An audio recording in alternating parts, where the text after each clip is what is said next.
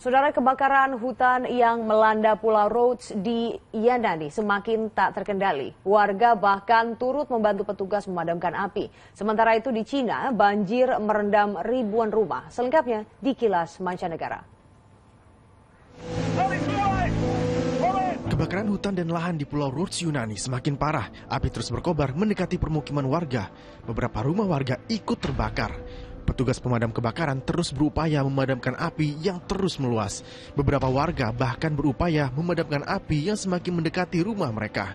Gelombang panas di Eropa memicu kebakaran hutan dan lahan. Di Pulau Rhodes Yunani, 19.000 warga lokal dan turis dievakuasi keluar dari pulau.